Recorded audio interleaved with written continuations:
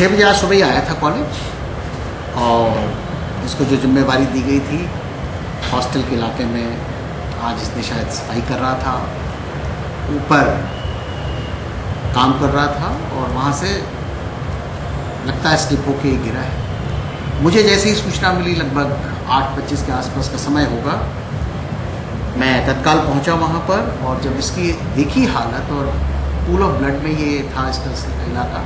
कि यही नहीं उनके परिवार के जन और उनके गाँव के तीन लोग आए थे। उन्होंने खुद जो है उसका जो है अवलोकन किया। पुलिस के जो अधिकारी आए थे उन्होंने खुद उनको दिखाया और उन्होंने अवलोकन किया उसका छः बजे आया है और प्रॉपर एंट्री है हमारी।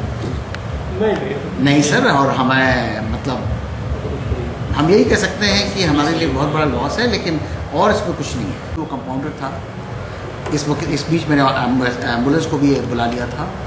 हमने तुरंत स्थिति की गंभीरता को समझते हुए इसको रोटी हॉस्पिटल भेज दिया।